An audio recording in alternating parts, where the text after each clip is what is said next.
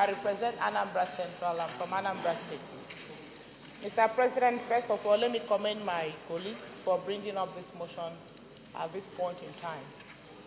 Mr. President, this motion is apt, and it has come at a time when we are looking up to Christmas celebration, which will come in the next few weeks.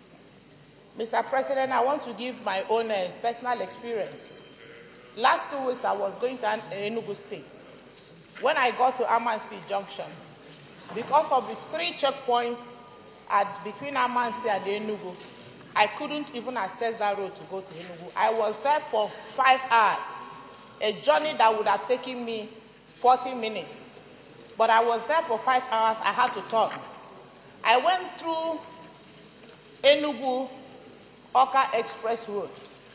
The same traffic caused by the checkpoints could not allow me to access Enugu. I had to go back to Anambra State, and I cancelled my trip. From Enugu to Lokoja, Mr. President, you see more than 10 checkpoints.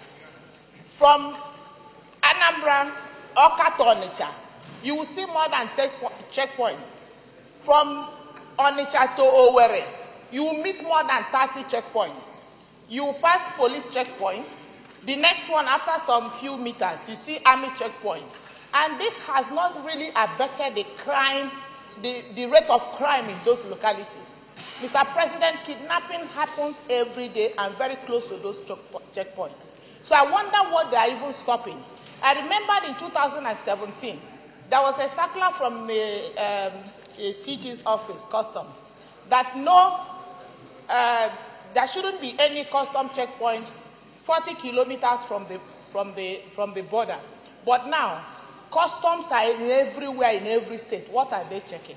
Are they not supposed to be at the, at the border at the airport? What are the, when you carry your vehicle after going through paying all the necessary fees, you take your vehicle from Lagos to Onitsha. They will come and wait for you at Asaba, wait for you at Enugu, I mean uh, Benin, wait for you in Onitsha, wait for you at every few meters. What are they doing on the road, Mr. President? The hardship these checkpoints are causing Nigeria, Nigerians, it's immeasurable. Apart from collapsing the businesses, it is also obstructing our movements. And many times, there are so many casualties through, uh, uh, through um, maybe this um, careless shooting by the policemen and all that. So I think time has come when we need to not just stopping it by calling all the heads of uh, uh, uh, heads of these agencies to instruct them to remove all the checkpoints with immediate effect. Now we're entering Christmas period. With all these checkpoints, how would families come in for their holidays? How would they come in to assess their, their businesses? How would the movement of the people go through this Christmas period?